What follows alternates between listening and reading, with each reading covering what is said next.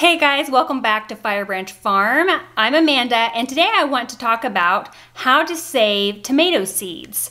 And this is the time of year you're getting tomatoes. It's time to be thinking, even now, about next year's crop. And the best thing you can honestly do is save your own seeds from your garden. These seeds will be producing stronger plants from year to year because they're actually going to climatize to your garden. So it's kind of like custom, creating custom plants, which is awesome. So today I'm gonna share with you my four criteria that I use when I'm deciding which seeds to actually save. You know, these fruits have a ton of seeds in each one. So for me, each tomato variety I have, I really only need one tomato. So how do I go about choosing, you know, which plant and which actual tomato I am gonna be saving those seeds from? And stay tuned to the end because at the end I'm actually going to show how I save those seeds. Number one is variety. So I will look at from the very beginning, how did these varieties germinate? Because all my seeds are handled in the same way. You know, I use the same soil, I water them the same, they have the same light. Did one variety underperform compared to the others, or maybe a couple underperformed?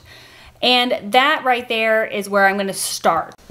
Here's an example of a variety that I'm not super thrilled with, you know, at this point. So this is a Mr. Stripey's plant right here. Now it's actually looking the best I think it's looked all season. It's looking the best right now. But I have had a ton of issues with some pretty severe leaf curl. You can see right there. Actually, um, probably about 50% of the plant looked like that for like the last month. And on top of that, it's had one tomato. Let's see. There is its one and only tomato it has grown this far. Now, again, it is looking the best it has all year. So maybe this is going to really come on this fall and produce and maybe I'll love the flavor. But at this point, from a variety standpoint, this variety is not impressing me and it is not on my list to plant for next year. Okay, let's next consider plant health.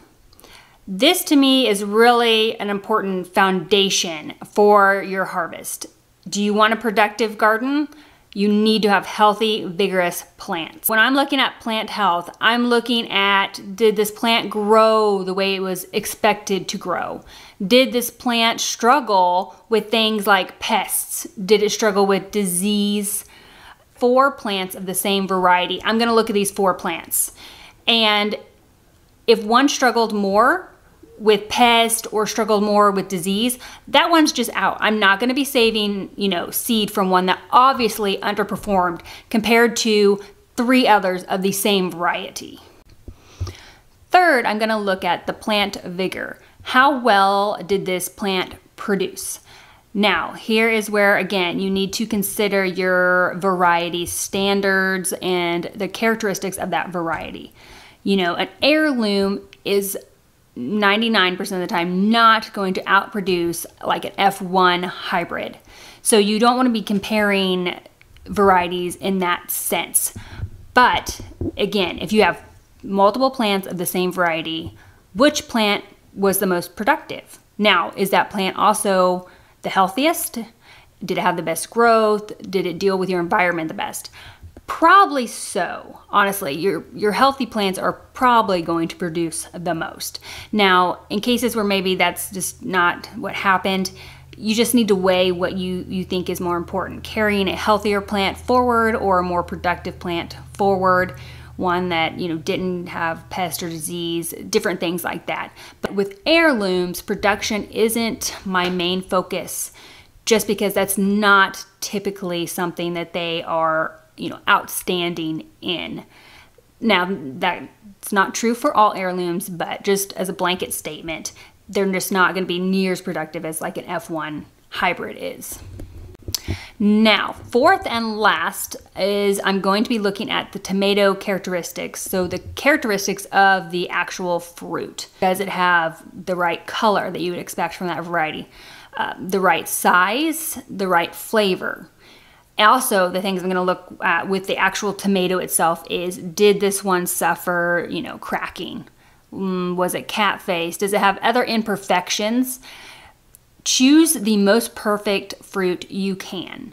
Okay, so what I have here is two Bonny Best tomatoes. Now, obviously, just looking at these, you know, wow, this is a standout right here. So as I saw this one starting to grow, I immediately was interested and intrigued because this is a big tomato for a Bonny Best. So I don't know if you can tell. This is more typical of a Bonny Best. Now I have gotten larger ones like this in the past, so it's not out of the norm. I don't consider this, you know, an anomaly or something outside of the scope of that variety. So here we go. Obviously, this one's looking pretty good. Also, these have come from the same plant.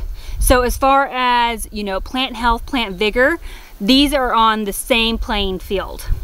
Now, this was actually from my best looking plant. It was the healthiest, it grew amazing, it looks great, it's put on the most fruit. So it is ticking off every single criteria that we just went over, and then it produces this.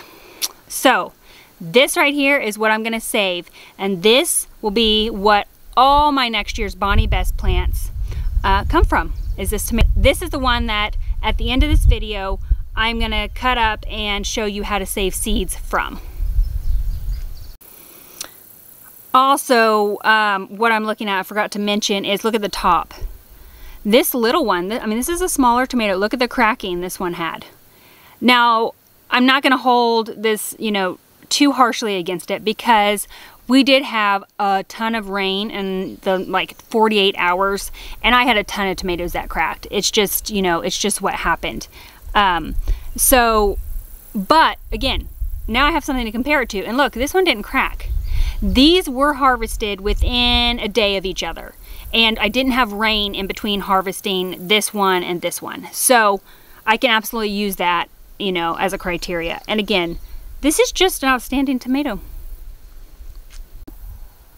Here's another good example.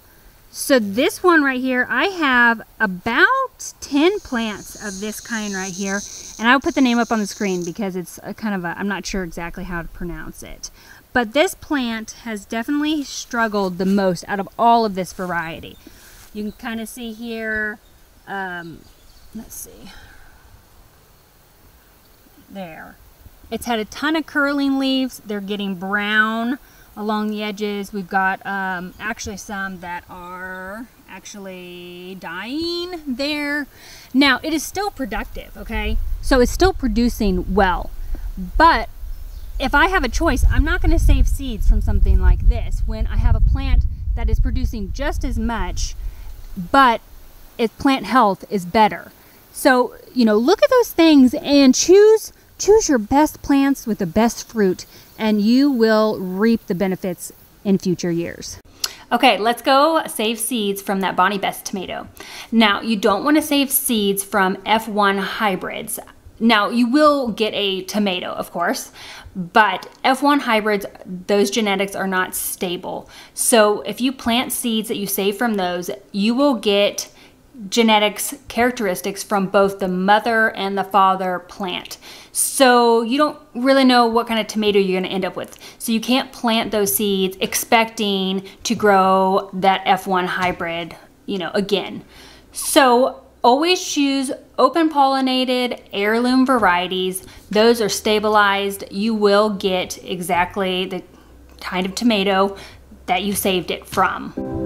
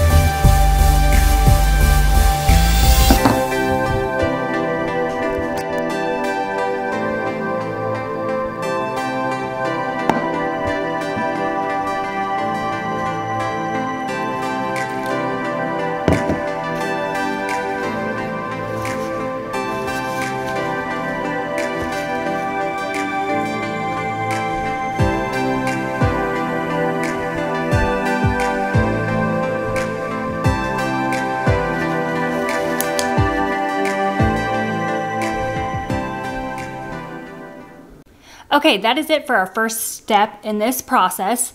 Now I'm gonna let this sit like this for two to five days. Every day I'm gonna come along and I'm gonna give it a little swirl. And the whole point of this is you need that gel to uh, separate from the seeds and they're gonna ferment a little bit. So I'm gonna leave this on my counter for a few days and then we will come back and I will show you the last step.